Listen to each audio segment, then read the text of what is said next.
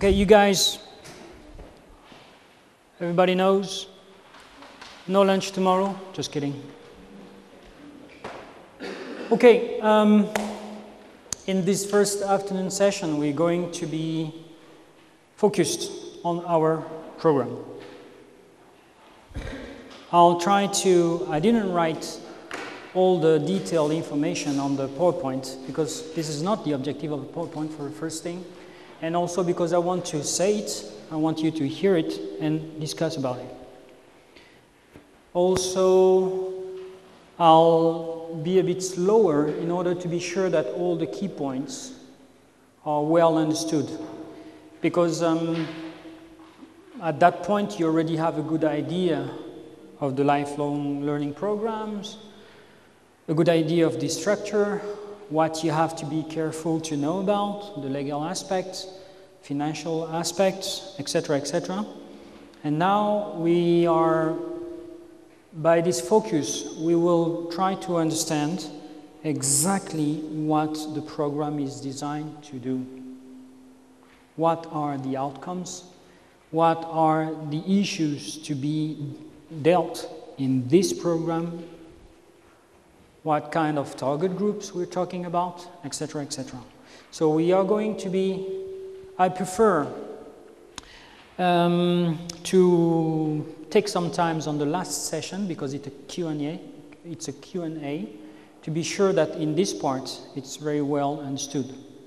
Obviously you will have the chance, and I think this is very important, to check this information in Italian, Italian language because there are versions of uh, the language available on the internet. Okay, so the objective of this uh, session, this module, is basically to learn to have a global knowledge on the Grundtvig multilateral project globally. And more specifically, to understand the key operational objectives, you understand that operational ob objectives is something practical. Okay? We will go through the detail of the call, which is this. Um, you remember the PDF form I showed you this morning with action programs, a program with all the detailed information? It's there that's the place. So it's this, this um, I'll, I'll, just for you to understand, this is guide 2B. Okay? There is a, um, a document that's available on the website of the ESEA we will see that tomorrow, how to get to the information. Okay, I will show you. Sometimes it's a bit obvious, but I, we will go to the website and we will check the, the website so you understand. So, by the call, I'm mentioning, I'm referring to the guide part 2b. And then we will we will also, it, this is very important, the quality dimension of the program, of the project, and it's transversal, okay? Whatever you do, whatever you, the program you apply, even if it's a preparatory visit, a preparatory visit, you mm, means that you are invited. Uh, concrete example, uh, I was invited by Sinergia in June to participate to a preparatory visit for three days, which um, uh, made possible that several partners for different countries met here in Bitonto and we discuss concretely on project ideas. That's a preparatory visit. Okay, you apply and if you win, you can receive 1,000 euro. Pays your plane ticket, pays the hotel, pays the good Italian food, or whatever food, and things like that. Even there, when you write it, when you write the application form, be sure to, be, uh, to mention the quality. Because you're going to the preparatory visit, You will meet other companies, other organizations, and you will take from there also their way to work efficiently with quality, blah, blah, blah. And that's a key word we were mentioning at the lunch keywords. So I'm, I'm, I'm, going to focus in all the modules about the quality system and the quality thing and the quality. It's going to really come as often as possible. And then to, to, uh, to end this uh, module, we'll have um, um, a concrete example, which is uh, uh, a project that will describe a bit practically what we've been talking about. Okay. So, on this, um, on this guide, you have, I would say, nine. It, it's obviously my way of reading it. When I tell you there is nine key points, take it, but don't take it for granted. Read it, cross information, and you will have a concrete idea. Your opinion and your way of looking at things are also very important. But at least with these nine key points, you will understand, and you understand by the guide, what we are talking about. Okay? So the first one is a consortium of organization. Obviously, you remember a minimum of three partners for a Grundtvig multilateral project. So the, one of the key points of the Grundtvig multilateral project is to gather at least three organizations of three different member states. There's no limits for the quantity of partners in a consortium for a Grundtvig multilateral project. You know why? When you go to the table, Excel table, you have the possibility to put 99 partners. No limits. I would say that uh, I don't have a specific experience on that, but um, five is very good. Three is really low.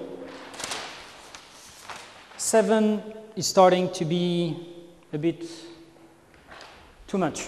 So I can use this. So on the consortium,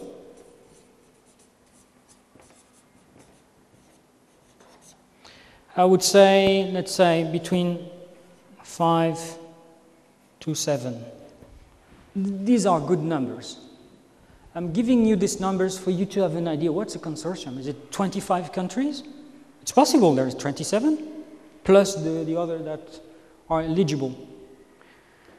Uh, our work on the multilateral with 12 went very well, but I think 5 to 7 is the, the right number. Okay, the other key point is a pool of knowledge and experience. A pool means a kind of um, kind of a, a, a, okay attraction of things. Okay, I'm attracting to me to my consortium a pool, a quantity of knowledge and experience, which mean that I've consulted my partners and I know what they're capable of doing. We will, we will look at that when we uh, go to the definition of the project. You just don't go to Google and uh, find some partners. Try to be efficient. It's a bit obvious what I'm saying. Obviously, sometimes there is a deadline limit and someone you need a partner at the last minute. And it happened, but okay tangible outcomes. A handbook. A handbook is concrete. Not tangible outcome. Uh, uh, we will write a set of rules, a set of recommendations. Completely empty. Handbook, for example, if it's um,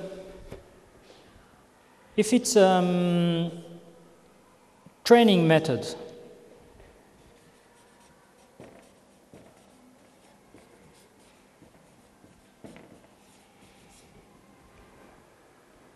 The training method is very concrete. Is it? How do you demonstrate, how, how, physically you, you... Okay, I know a training method. Um, the Samoan circle. How can I demonstrate? It's a, it's a method. Handbooks, videos, portfolio, concrete things, and how to. How do you organize a learning session with the Samoan circle method? Okay? So it's very it's, it's, it's easy to write tangible outcomes. Sometimes when you think about it, it's not easy to make it happen. Okay? Quality of the provision. Uh, the provision with this European language is the bunch of information, the content. Okay? Everything that you can everything that you can put together to explain something is a provision. It's a global idea and it's a keyword also. So it includes the method, the contents of learning, the source of learning, the learner point of view, the setting of the learning, all, the, all this material, the policies, everything. The European added value. This is a key point and it means basically that what you are going to design wherever you are, in Italy, have a very um, strong advantage to be used or to be shared with another country or with other countries in Europe. I had an interesting conversation on, uh, on the break, and um, I was asked, uh, well, should I, how, where should I start with my project idea? Should I look in Europe? Should I? And I suggested to start looking at your own backyard. What's going on? First step. Oh, there is a problem here. Let's see if this problem is the same or exists in another European country, or even better, in other European countries. Second step Third step is there a solution to that problem? Maybe uh, they find something in Finland and it can solve the problem that I have in my, in my, my place and the other place that I found out. So why don't they use this solution? What, what's, what's the obstacle? If you find a solution out there, well, you can, and you, you, you verify that no countries are using this solution, you can set a project to tackle this, this nonsense. Come on, if they, are, uh, they have the keys in Finland, what, why don't we use it? If you don't find a solution of this problem, hmm, even better, then you can innovate and bring the solution to everybody. Okay? That is European added value. Among all things, cultural diversity is very important to consider when you design a project. Even if you have the problem, the same problem in another country, what if this other country can't just take what you're going to develop in their country because of cultural barrier uh, obstacles? So you have to consider this too. But we will go deeper on the European added value. And this criteria is very important because it's one of the criteria they use to evaluate your proposal. All right? Pilot testing. I know this method uh, I can use to help uh, people to find a job. I have it here. Believe me, it's fantastic.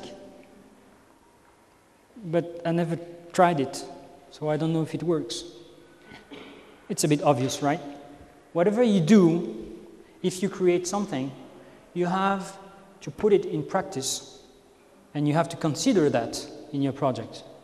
Put it in practice, then you will have feedback, you will have performances, you will have reports, you will have a lot of answers to the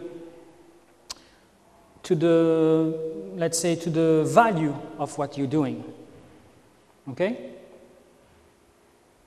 Well, if it's something that already uh, exists and it's uh, uh, something that you want to uh, multiply, obviously even if it's a, a key point, you might, you might say, well, it's already proven, it works. It's not proven. It works the way they did it, the place they did it, with the people they did it. You don't know if it works with uh, other situations. So don't just jump on, oh, it exists. So no, don't jump. Be there and study the situation to be sure that you will have this uh, considered. Uh, strategic areas, areas. Well, if you, if you apply this here, something different than uh, aging people and learning pathway, hmm, trouble, trouble. You must abide, if you have a project idea that doesn't match at all these two strategic uh, priorities this year, find another program. There are so many. I don't believe it's possible you can't find a program for your idea. I think it's really covered. Okay? We are, we in, in, in GMP, we are at the DG, education, culture, audiovisual. But there are other Directorate General, social affairs, cooperation, EuropeAid, whatever, okay? So be sure that you're in these highways. Teaching products. But of course, we want to develop things that we will be able to use for adults to find a job, for adults to find a, a way of improving their competences. So, well, if you do a project without any teaching content, ah, it's possible, but somehow, even if it's craft, even if it's cooking, you have beautiful project on cooking. But because cooking is a way of non, non-formal way of learning, okay? So I don't, I don't know if it's a bit obvious for you, but this is important. Um, and here, you know, what's the difference between the European added value and the European dimension of adult uh, learning? Is uh, something to do a bit with the policies. Okay, the European added value is okay, it's justified that what you're doing here is useful for other countries. And here, the European dimension is more the so-called provision. Okay, your project will bring a lot of things that can be uh, used as recommendation and policy and trends, so all countries will follow. Well, if, if, if, uh, if, it, if it's possible, because then you have the politics. Depending on the government, you know, try to do something with England right now bit difficult. Any question at this point? Any doubt? Something maybe I uh, didn't explain well, clearly? No?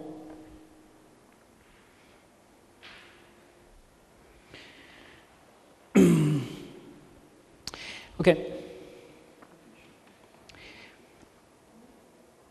On, on this part, as I mentioned this morning, you must remember,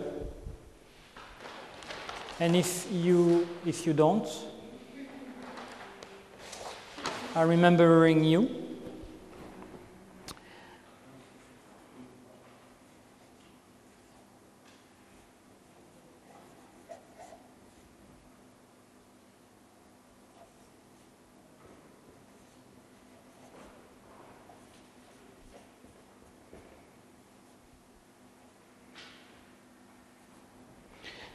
You have this global objectives, aim, framework for all these years.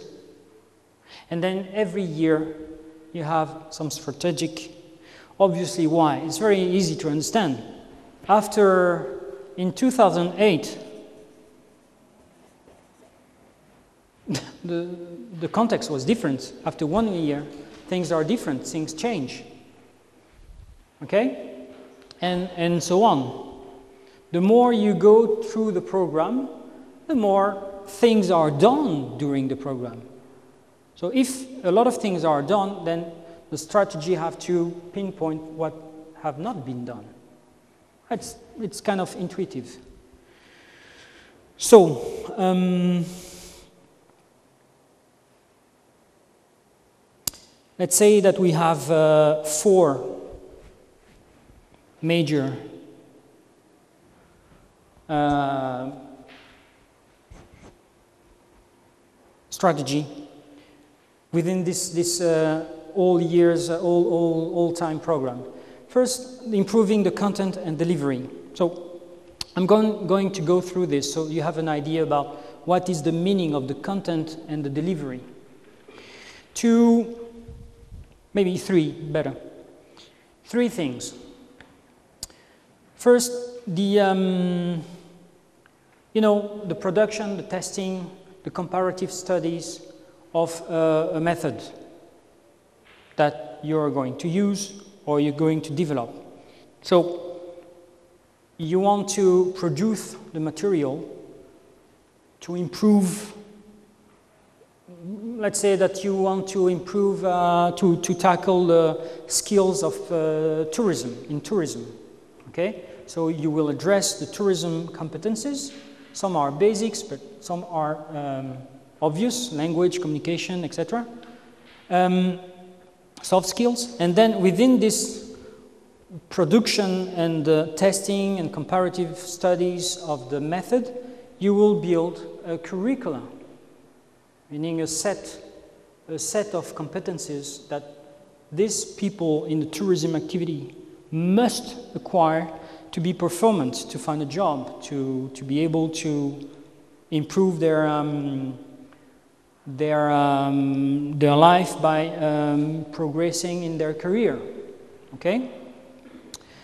The second point of this improving the content delivery is what they, what's called the Grundtvig Initial Service Training, IST. This is basically a training somewhere in some country, okay? Grundtvig IST initial um, oh, I forgot now. I have a white thing. Uh, initial service, uh, service training. So in-service training means, um, well, in service you can, you can um, compare to training in a company. Okay, so you are acquiring competences, you're acquiring knowledge, you're acquiring a lot of um, learning by practicing a job as a trainee. Okay? So that's the meaning of uh, IST. Also, people who, who does in-service training obviously get more employable. Okay? If you don't have a lot of experience in cooking and you spend three months somewhere cooking, you better have, uh, you will improve and you will find a job in cooking uh, systems, uh, companies. the third point in improving the content is uh, initiatives that will um, bring uh, innovation to initial, initial training, okay? People who want, for example, to uh, change job or to improve a competence or to change career, okay? They will start training in this field or in this activity. So these are the three points. Okay, I put it back here. Curricula, training, and um, how can I translate that? Well, innovation on initial training.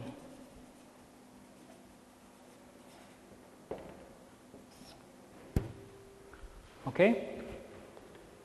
Content and delivery. Then another, uh, the second big package of uh, the call is the improving at the system or policy level. System, system of education, policy, um, rules that you have to follow. In that, in that uh, part, so you have, uh, I'll put it here.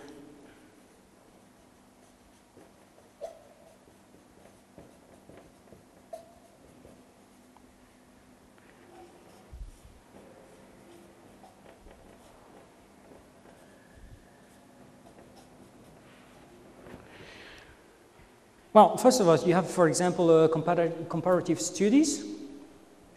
You know, for example, that in Scandinavia, education system is working very well, very, very well. They have a very good uh, and strong system of education. Finland is often used as an example, but then you have this situation of the cultural field values that are different. So when you think about uh, sharing things the European added value, you think about some obstacles you will find. I mean, for a Latino to think as a Finnish, hmm, there are some differences there. Um, you have another one. So this is comparative studies. Um, then there is another point in this package that is uh, basically indicators. Okay, when you uh, when you want to improve your systems, whatever the field in Europe, you need to use valuable and, and concrete indicators to be used in databases that will help you to understand and to have a critical analysis of the situation to improve the situation. So another uh, part, um, topic, objective activity that you can think for your project is these indicators and data analysis. When I was in Turin with this group of uh, consultants, experts, whatever, we, we, one of the things that we've been debating is data mining how to collect information and how to organize this information to help um, the competent bodies to design rules, policies, solutions for good education, adult education. How to, should, should we use uh, the system they use, for example, in Singapore, very efficient data mining, you know, there is a big uh, comparative study between the education system in Europe and the education system in, in the States. I mean, two different worlds. Sorry, scusato, scusa. Um, so this comparative study was it was something that you would you, you could use for a Grundtvig uh, multilateral um, project. Um, Money. When you think about policy, you think about public money, you think about maybe eventually addressing the situation of funding programs, funding things. So you can eventually consider, it's one part of this package, consider uh, creating, developing, or disseminating a system of funding for projects. We've been talking about crowdfunding this morning, I remember with someone, for example, etc. Um, another, another point in this uh, policy system is to create somehow activities that will raise awareness, campaigns, citizen panels. I'm working in a project right now under the Europe for Citizens that we, we will bring some young people from every countries in Europe, actually for the 47 countries from the Council of Europe. And this, these guys are going to, in groups, to travel in Europe, in each capital, to gather recommendations, to be uh, able to write a strategic recommendation on European citizen sense of belonging for the European Commission. Okay? This is not under this uh, Grundtvig multilateral project, but raising awareness is that. You get people uh, to, be, to know what's going on and what they can do. Uh, everybody knows we, we wake up, we, some of you have kids, family, things, but Europe, well, after that, I have things to do, but actually, we are building the things. So, democracy, we have to vote. Human rights, all these things are building Europe. So, you want to, and education also, and adult education also. Okay? So, that's the, the fourth, I'll call that uh, awareness, raising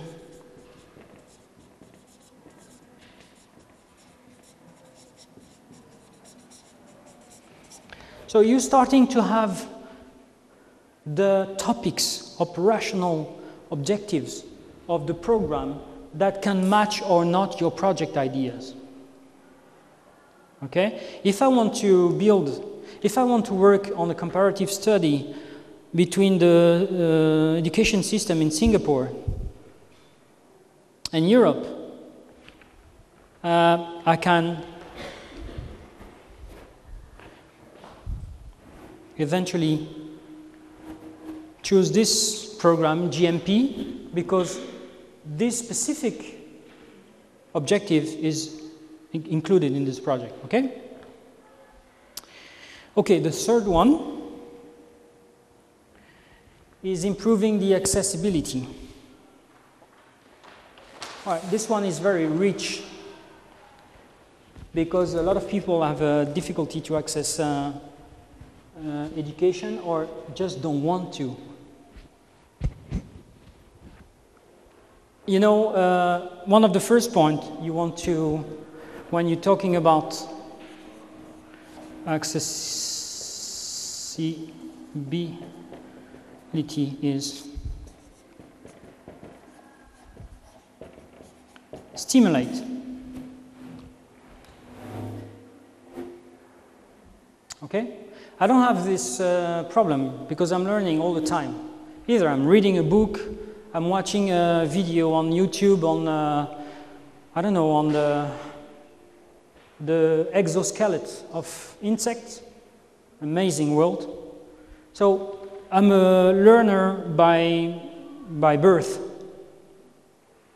But a lot of people, um, well, they, they, they are bothered, they, they're bored, they, they don't know what to do exactly. It's not easy to, to, to be a learner.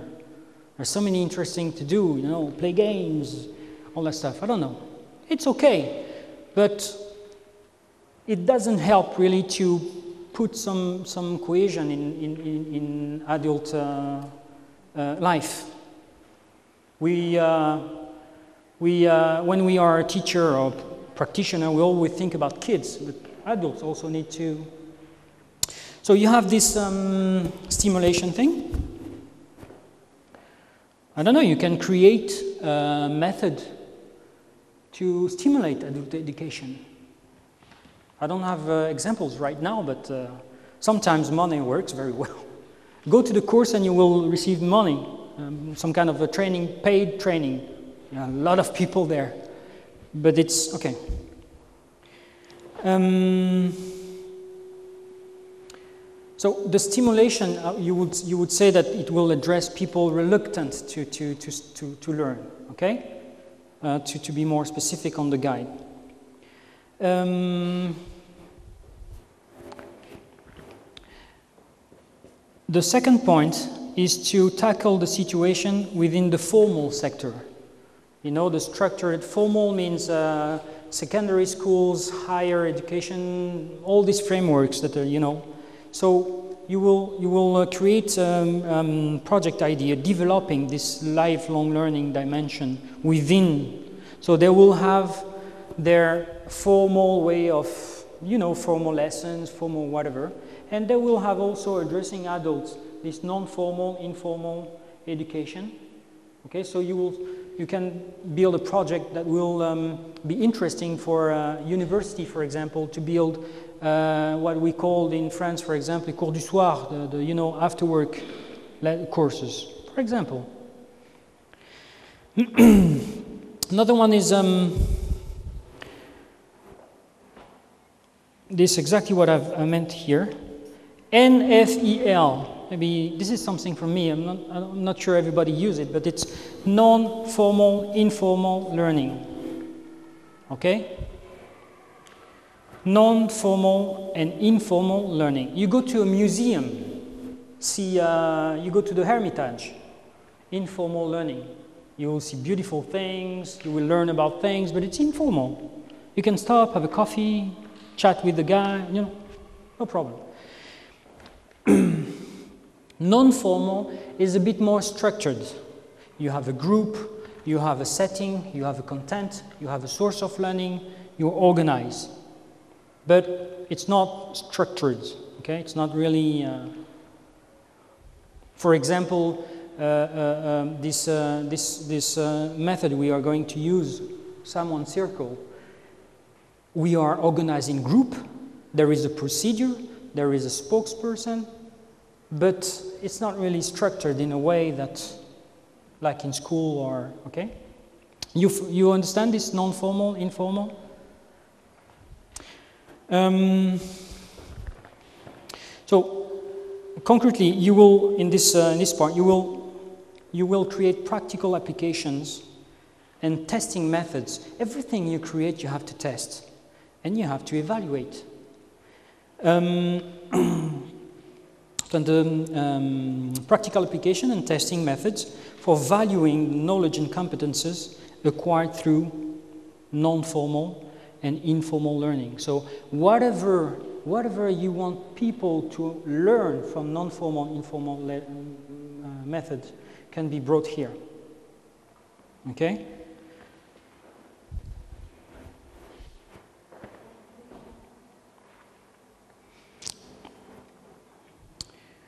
Mm, how, how can I, maybe I summarize it here. You see that? No.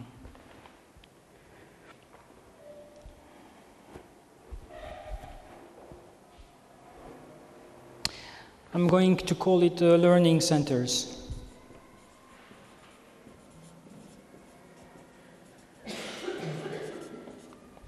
Another uh, practical thing that you can bring to this kind of framework project is learning centers. Basically, it means promoting the, the development of, um, uh, of multi-purpose learning centers and also networks of uh, learning centers. Okay? So you build, what do you build? You build um, facilities, you know, concrete facilities that can be used to bring this learning content to people. Okay? So they, in, in the guide, it's called more specifically uh, multi-purpose learning center. You have a very good example in, in the state, for example. I don't know if you're familiar with uh, Dave Eggers. It's a wonderful person you, you want to meet, obviously, on the internet, Wikipedia, and all that stuff. Um, he decided to, he understood that um, a lot of uh, kids from social uh, difficulty, um, uh, how you call that in English, social issues, families. Doesn't mean that the, these kids are not brilliant. There might be some Einstein out there, or Picasso, or Mozart. You don't know. But if they don't have access to, to this, to the training, to education, to they, maybe they, you're losing. You, so he created some kind of um, foundation and uh, based on volunteering. So a lot of uh, teachers, professors in, in arts uh, are teaching these kids creative writing, etc. Okay? So this is a kind of multi-purpose center. You have in Paris what they call the House of the Artists, la Maison des Artistes, where artists, they, are, they don't have money, you know artists, they're very brilliant. They create everything. They, they don't know how to spend money or to manage money. So they have this house, and they can there have a, um, a safe base to develop their, their, um, their ideas. This is a multi-purpose center. Um, okay, another one. How can I call that? Uh, I would call that guidance, it's easy to understand. Okay, practically it's developing innovative guidance and counseling tools and methods. Okay, I give you a very concrete example. I was in a conference in December in, in Portugal. Portugal is completely passionate by Europass. They speak by Europass. Europass this, Europass that. The Europass system, curriculum system, resume, you know what I'm talking about? Okay, how to build a resume? Europass exists because Europe wanted to create this common language, common framework, language passport, so everybody understand that's a very good thing to do. But you know these guys from the guidance uh, companies, they hate Europass. They think it's completely useless. It's not what they want. The big gap between what they build Okay, it's political because Europe is trying to uh, use it, okay? They want you to use it. But this program allows you to try to get out of this box and think about how you could better counsel people. On what basis? Self assessment, assessment? Which, which way? So you can also apply if you have an idea in this, uh, in this field, and this is a problem in Portugal, they even developed, and it's a first time thing, a toolkit for Europass. Wow. Okay, so this is a major policy tendency, but try to get out of this Europass and think about uh, you, for example, the people working designers in the creative uh, labs. They don't use Europass, it's completely useless. They want a CV with pop-ups image and video. They don't even want a CV, they want a video of you. They want to see you dance or how you do things. Okay? It's, it's a bit caricatural, but that's true. Um, another thing, I don't have the Juliana watch now. Um, yeah, this one is very interesting. I would say, to resume it, walk, place, based. This specific um, um, setting, workplace basic, basically promoting interaction between formal uh, learning center and non-formal, informal. And, and this interconnection should be work-based. Right? You get a student in uh, comparative uh, liter literature. You put it, put him or her in a law, office, law office, comparative study law office. But you introduce non-formal methods of learning, such as brainstorming, such as whatever the, the, the non-formal. Okay? So we get out of the formal, you know, listening to this old guy about the law, and he get to a more interactive thing and hey let's uh, take this case. Uh, they are doing something else something against whatever the population. Okay? So this is a work based and actually whatever you would like to do for this call you and, and but basically for the last two years should be all time work based so it's really practical and concrete. People are doing and participating, adult learner are participating in your project because of employability, mobility, uh, improvement of their competencies. This is really practical. Okay, whatever they will do in your project, it will help them to find a work, uh, a job, or to change job, or to go from um, technical level to managerial level. Okay? It's a lot of things huh, now. You're getting into it. Okay, the last one.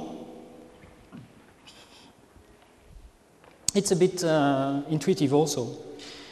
It's the uh, management of. Um,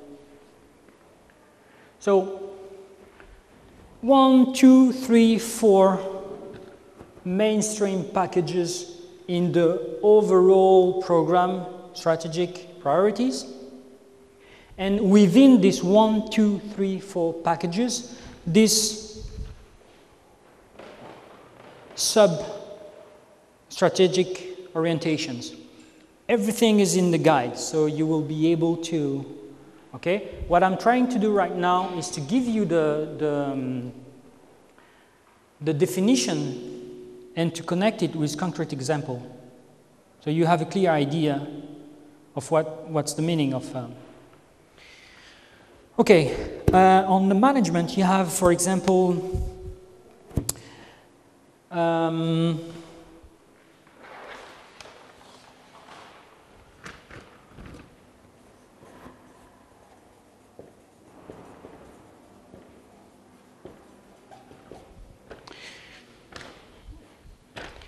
I'll say um, the, the non-teaching, the, the non-practitioner staff in organizations, okay? So you're talking about the people working at administrative level, at uh, accountancy level, whatever. So you will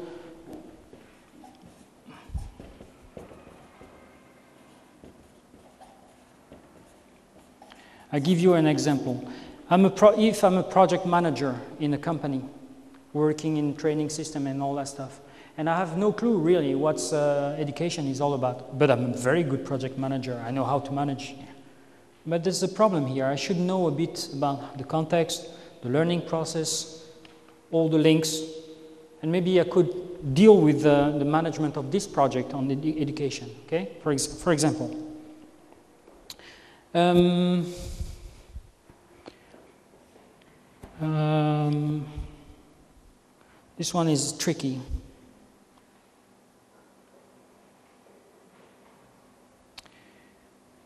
I would say non learning organization. Okay, it's basically to, to develop to develop learnings, uh, the learning dimension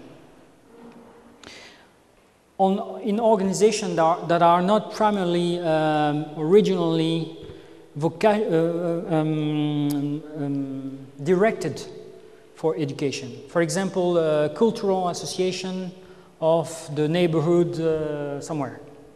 They used to organize fiestas, they used to organize uh, visits to museums, they, you know, cultural activities.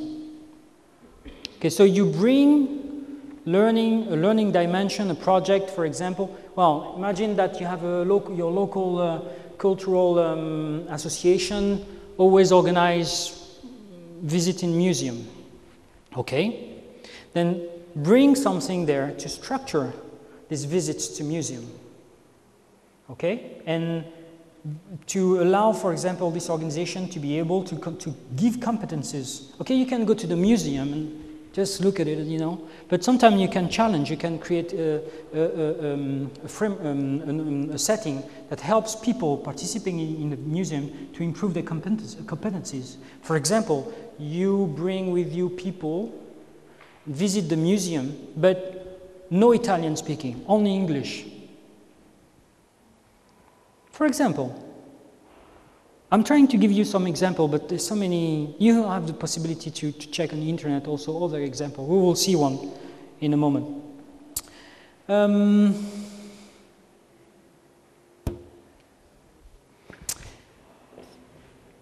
also, non-learning bodies,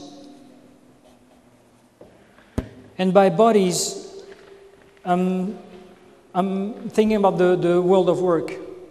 For example, uh, a trade association is not oriented to adult education. They deal with conflict, they deal with uh, policy, they don't agree with the government, blah, blah, blah. So you will build, when you, you think about the management area or topic, of the global strategic orientation of the Grundtvig multilateral project, when you hear, you can think about building or bringing an idea on bringing this learning uh, dimension in this organization that are not really directed for this kind of activity, okay? And personally, I will, um, it, it's written like that measures addressed to other bodies with an important role to play in the management of adult education. That's the language. Well, and then you have the labor, the chambers of commerce, chambers of craft, trade unions, you name it. There's uh, plenty of them. I would like to add something that is not there because I believe that is very important. So these, these bodies, uh, this organization I talked about, are uh, uh, called also in a lot of documents uh, the, the competent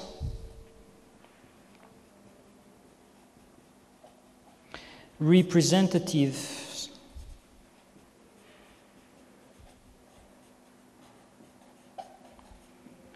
Of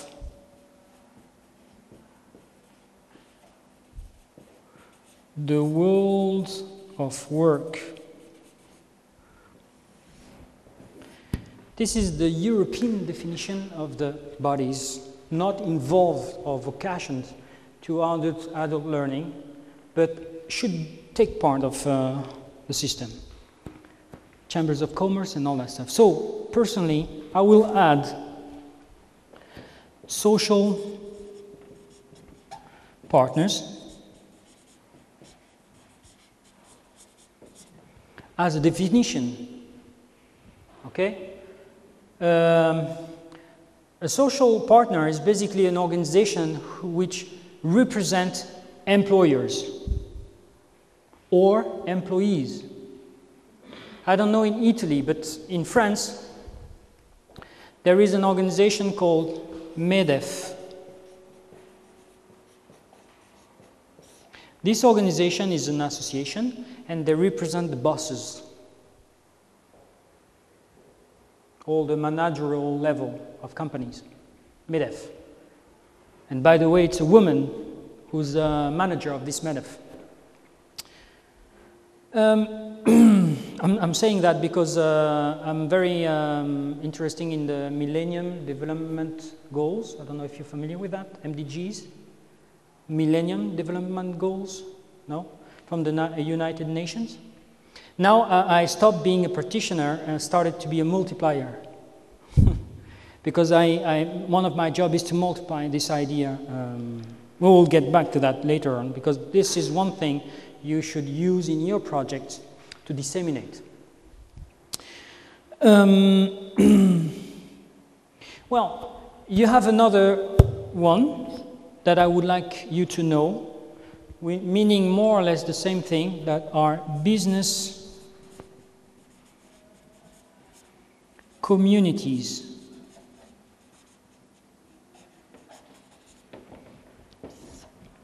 And the reason why I would like to add this here is because of what's called SSA.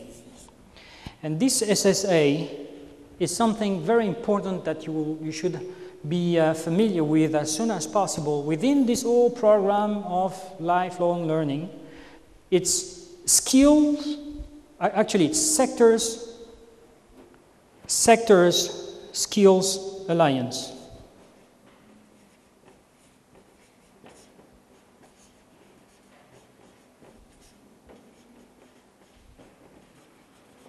Let's say, alliances. This is not in the guide.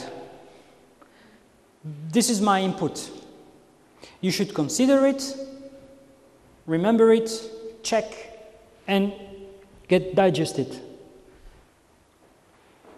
Obviously, I'm putting in here because I'm, I'm expecting. Um, answer for, for two applications we did in August.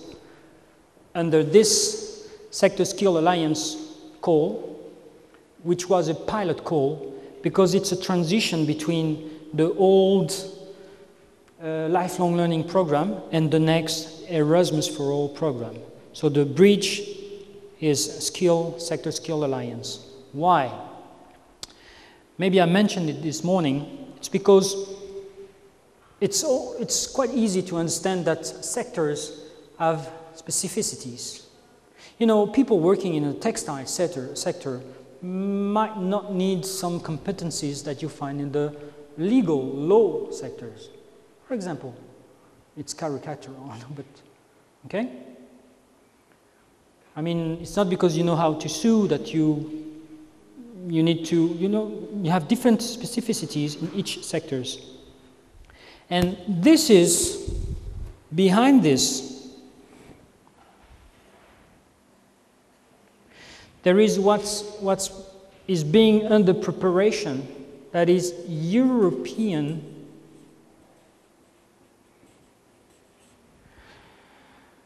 Skills. Councils initially built for adult education if you want to work on that field you will think about this one so by the world of work, you understand social partners, you understand business communities linked to social, social uh, sector skills alliance under the future European Skills Councils.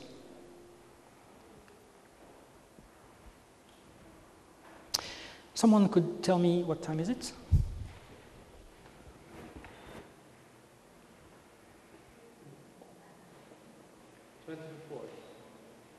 Sorry?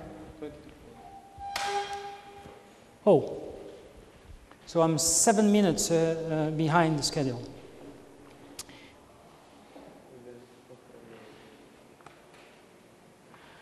Okay. Well, it's all right.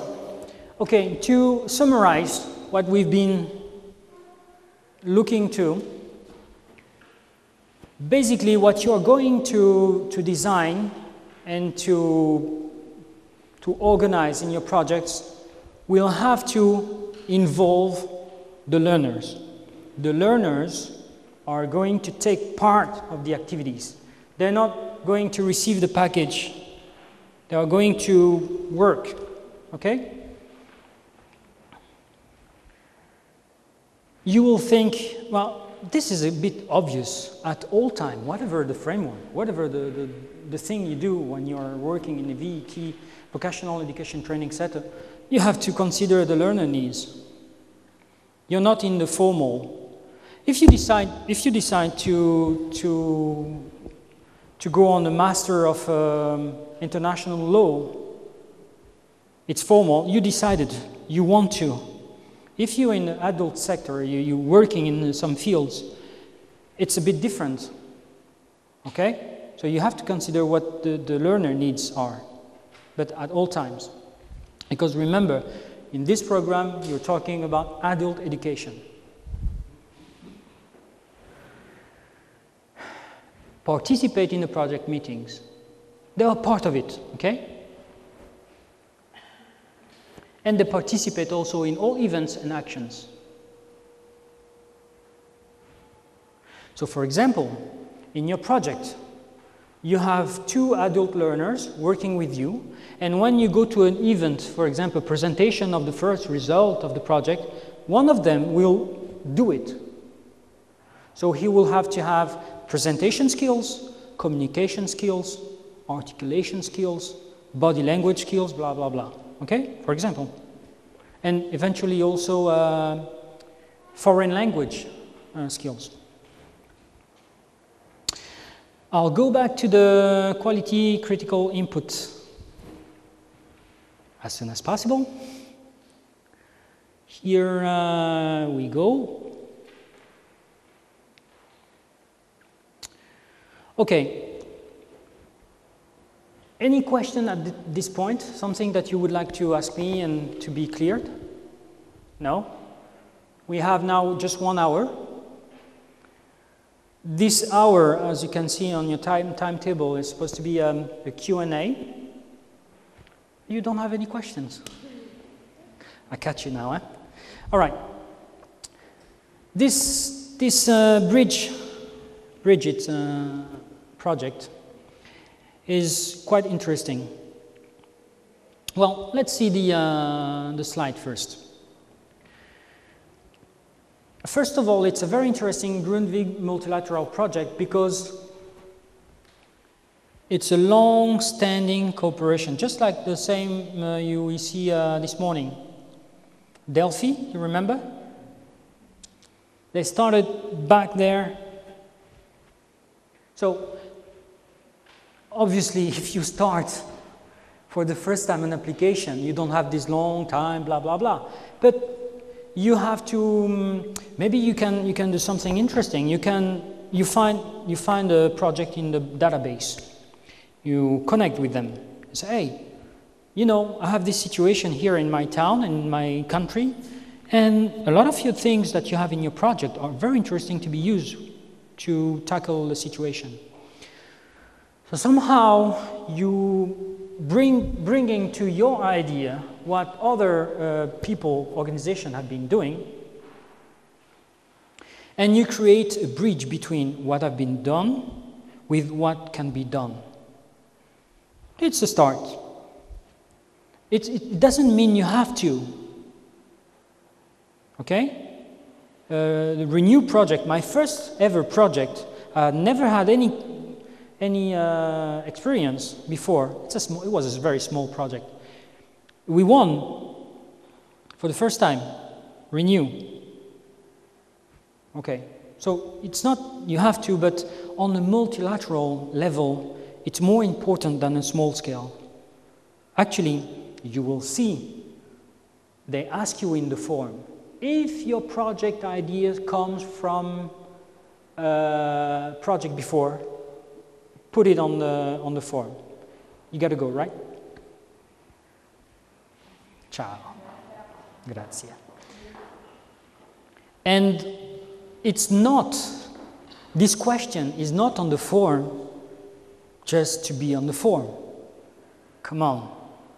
Whatever the documentation you take from Europe, if there's something, a question there, be sure that it's because it's important. That's my opinion. But it doesn't mean either that if your project is very good, you need to go back from a project. You understand? It depends, but it's better. Well, in my opinion. Uh-huh. So, long standing.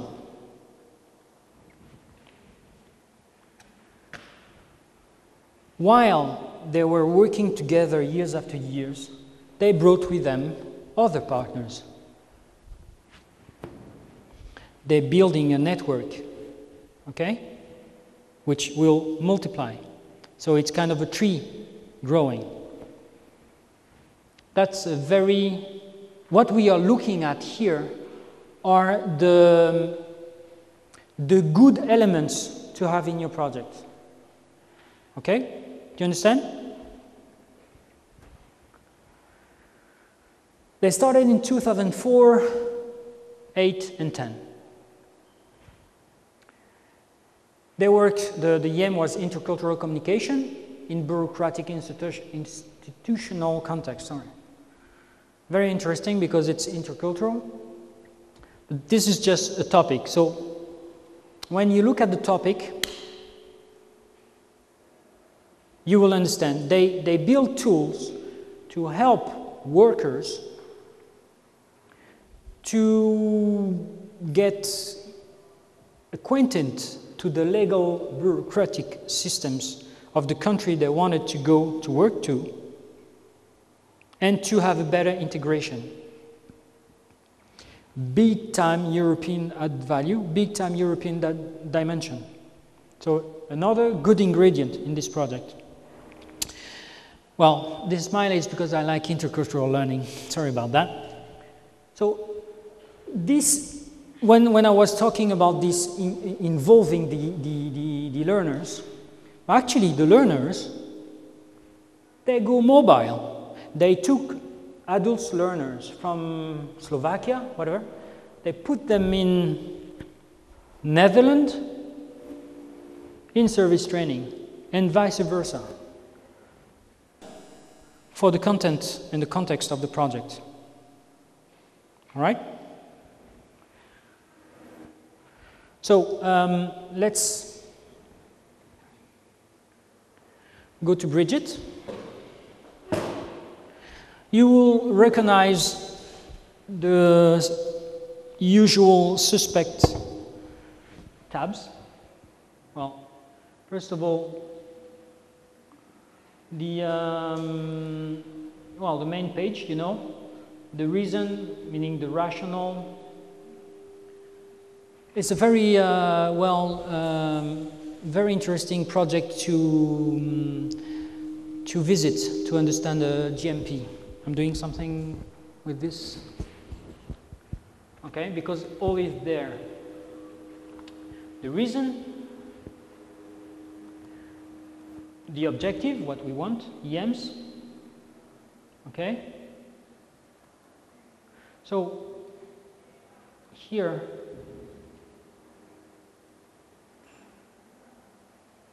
well it's interesting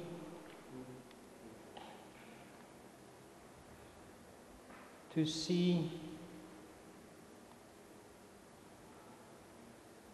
It's difficult to see everything here, but okay, so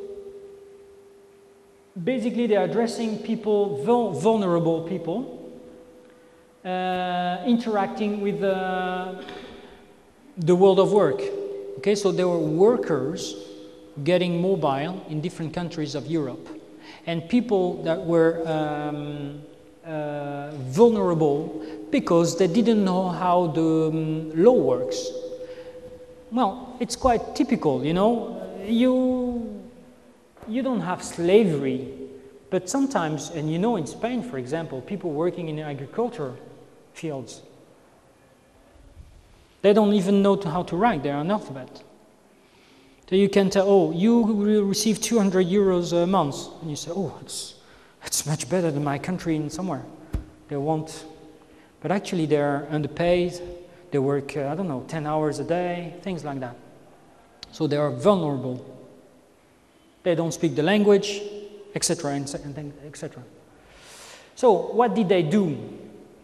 They created an e-learning platform. Okay? meaning that people would be able to go online and take the, the, the, provision, take the information of these courses in order to prepare themselves. It's kind of a toolkit, a survival kit, okay, to get prepared.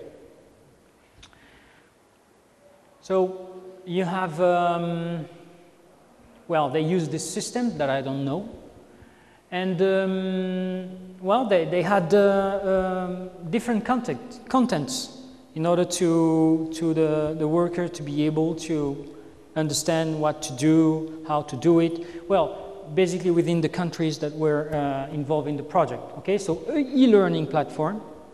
And here, Grundtvig courses.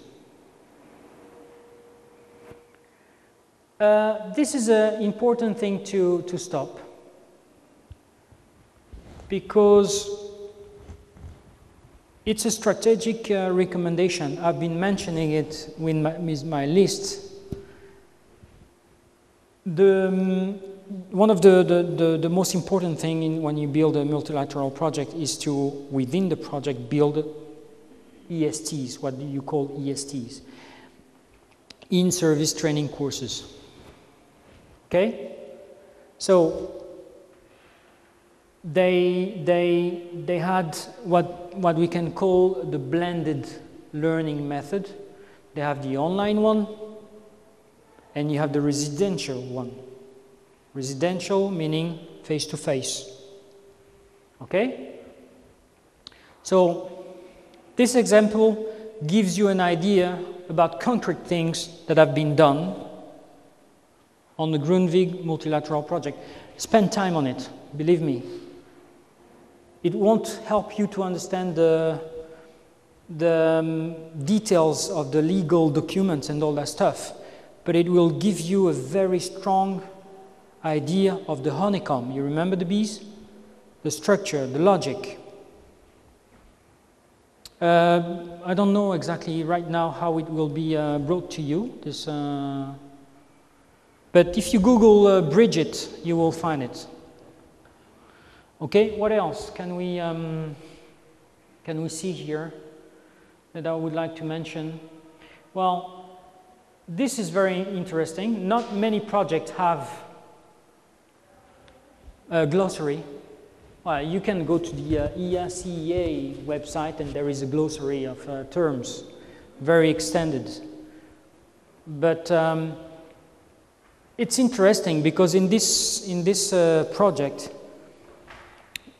I would say that this part, the glossary, is, uh, is one of the objectives of the Grundtvig multilateral project. to have to common language, common understanding of what we are talking about.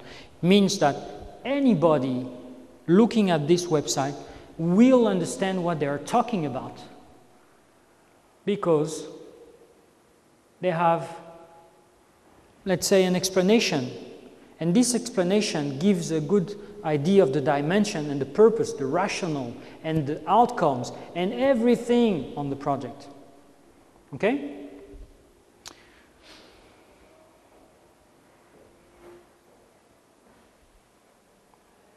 Now I'm very ahead of my time. Um, well, you know, this is classical, where Bridget is the pro project itself. The other language they were referring to, the partners, always on the website of the project. News and events, that's the disseminating part of the project. The e-learning platform is something they, they brought to the project. So this is a always available tool. This is very interesting because maybe not a lot of people didn't have the chance to participate to the IST. Um, the newsletters, gallery of pictures or co, okay, and the download button that you can bring, um, you can download the, all the documentations and all that stuff. And also, you know, the, uh, the, the contacts are important because if you, if you decide to work on some project with the common, common, let's say, common thing, either it's outcome, target group, or whatever, you can contact them and ask them some inputs. I don't know if you have any question at this point. Some specifics, maybe you're very tired, I don't know. It's a lot of information in one day. And um, I prefer, I have a very interesting um, let's say, um, content to give to you.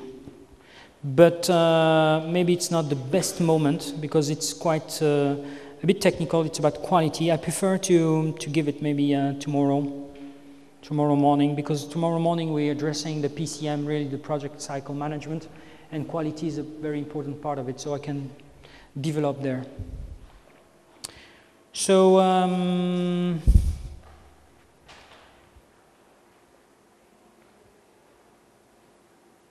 it's uh, basically done. We can, what we can do now is uh, just a review of, of, what we've been learning today. Okay, it's kind of Polaroid what, what happened.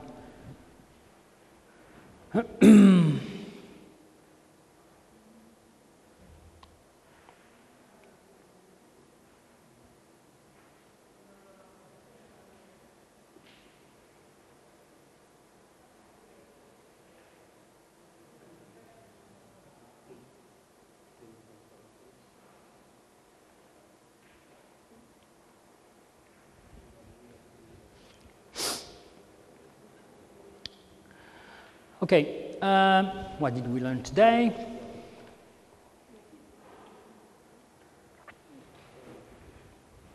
Lifelong learning program structure, sectorial, transversal, remember? Uh, Erasmus, Comenius, Erasmus, Leonardo, Grundtvig. Key activity one, two, three, four. Good memory. Uh, we had an idea of the standard project life cycle within the European agency. Yeah? I got a question. Sure. Uh, I'd like to know if the application of uh, 20, uh, for 2013 2020 um, is different from the previous one, I'm sorry, just can, do, you don't mind to, because use the micro.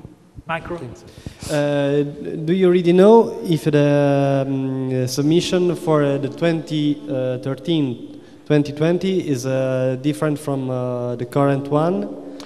20, 2014, not 2014 2020 is uh, uh, different from the current one, or we don't, don't know at the moment? Well, uh, obviously, um, I, I, did, I didn't have time to. I wish the day was uh, a bit longer.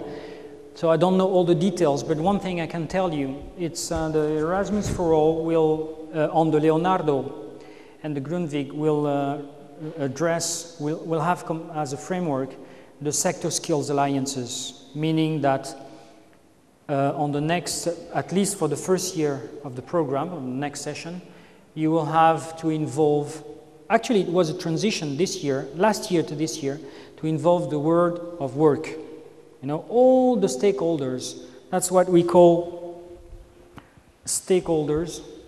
Because until now, I mean, most of all, it was all about VET sector, you know, people from the vocational education training working together. It's a small community. Okay, 2012 application.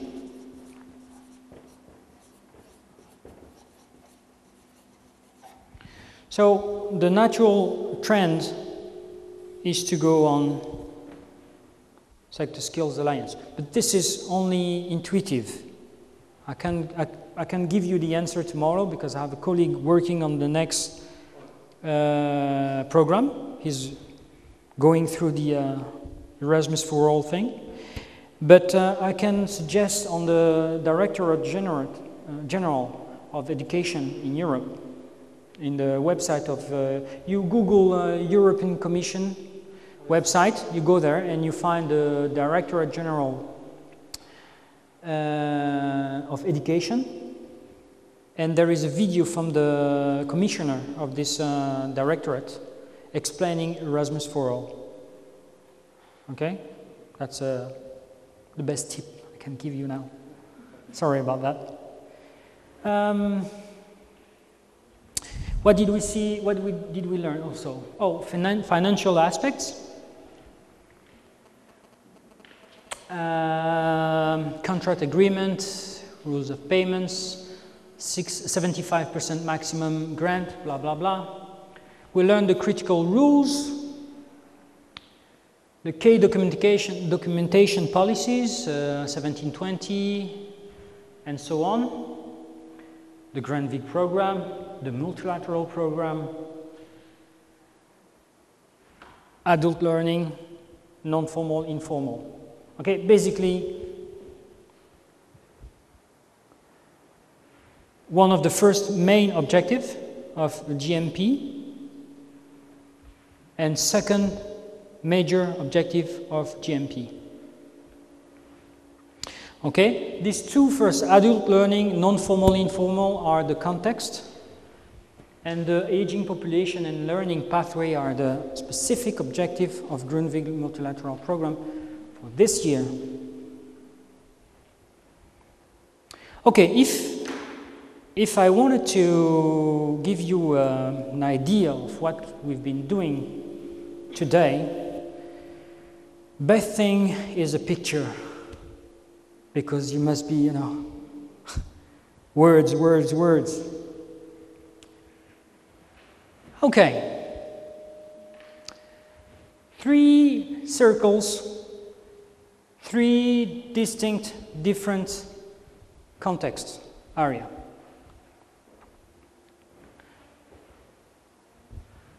First one, you, your local context.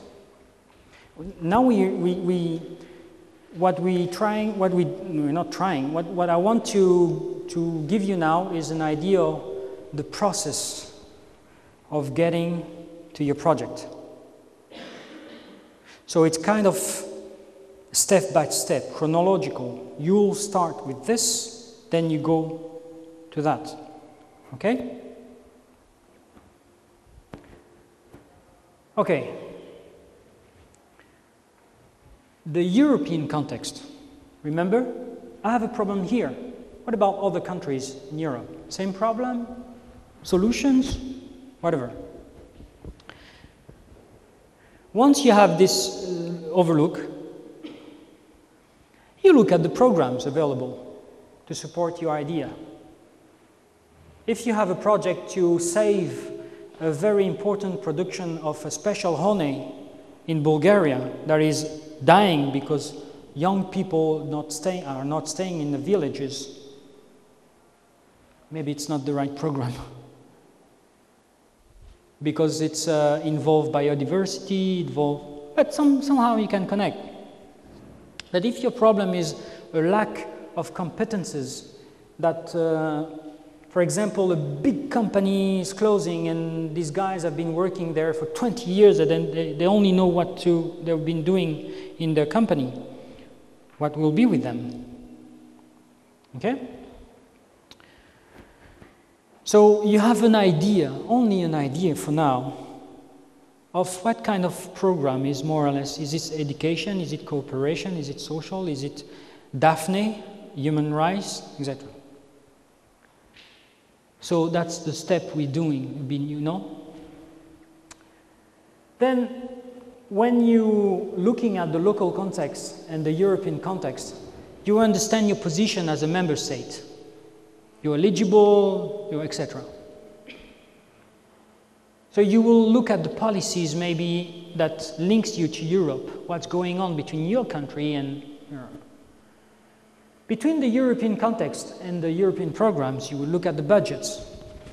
If you have a, an idea of, of a project you, will, you want to develop, once you know more or less which kind of program, well, you, you're going to start looking at, well, what kind of budget? And that's, between, that's the link between the European Commission and the European program. Then you have the priorities. Okay? You have the context, you have the programs, but does it fit between your member state, country, and the program? Does it fit to its priorities?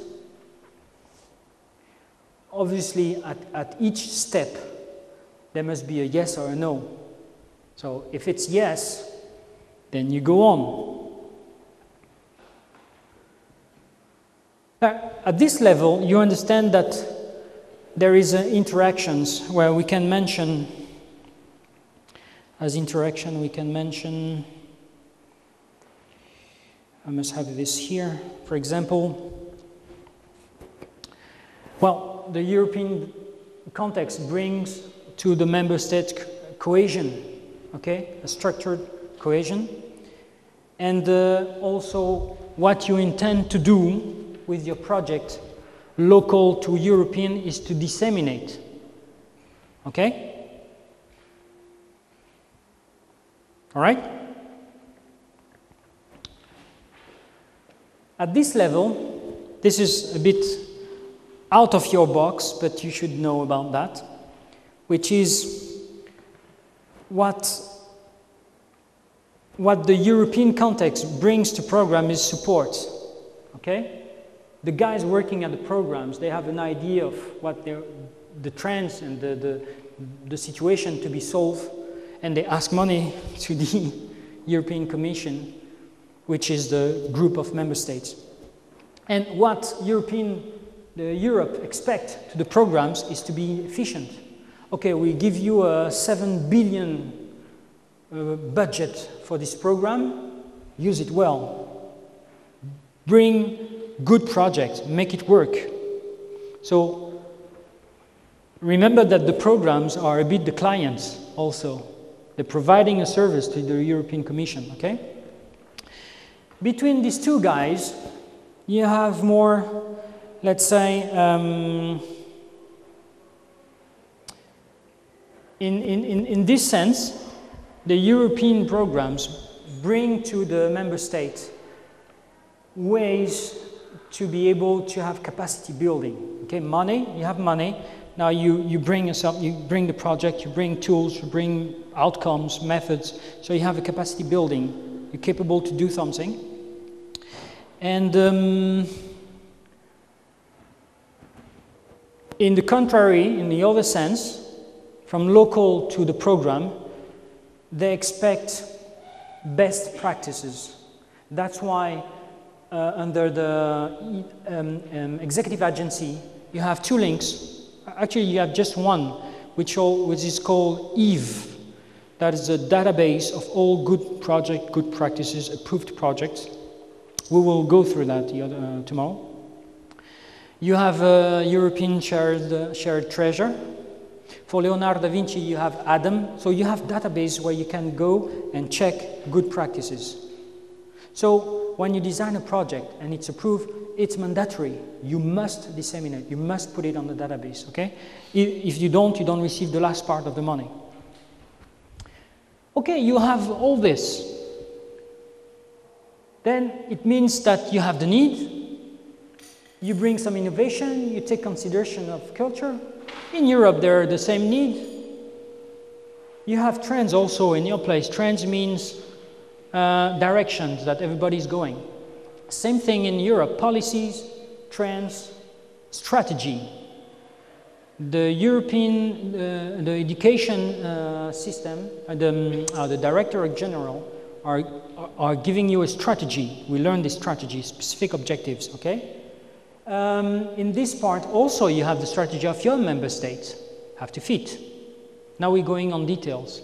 You're building your project, you have a good idea, now you, you, you're narrowing within your project to match the same things. Is the need there a need here? Is the policy here a policy there? Is a trend here a trend there? Is a strategy in European dimension a strategy also in your member state? Does it match? It means that you connect the dot. Yes, it match.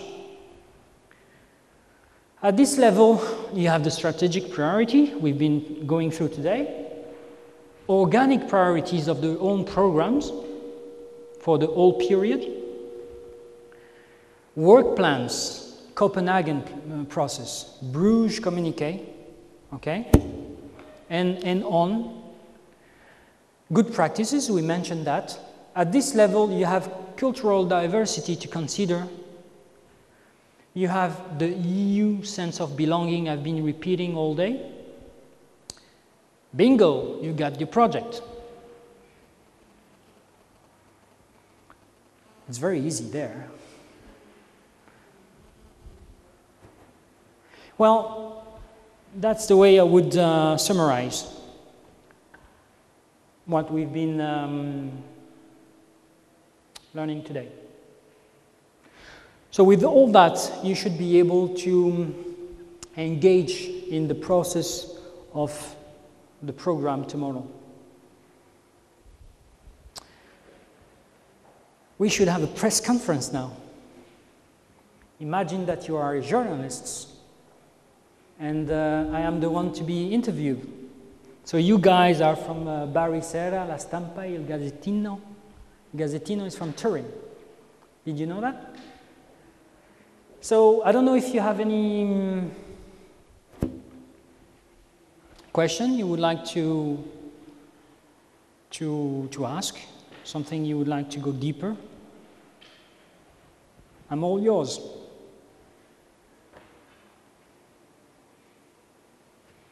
No? It was a long day, right? Okay, let's make a transition of one minute maximum. About tomorrow, you will have an activity. You will work together, but you will decide if you want to work all you guys with me or in groups. And we are going to use um, a non formal learning method. I don't know if I put it here, no. Uh, which is uh, basically a Samoan circle we will uh, organize four groups. And I will give you uh, a topic to debate about what we've been learning today. A set of five, six questions. So all the group have the same questions. Each group have a, to start the, the, the, the, the activity, uh, all group will decide of a spokesperson for, for, to start.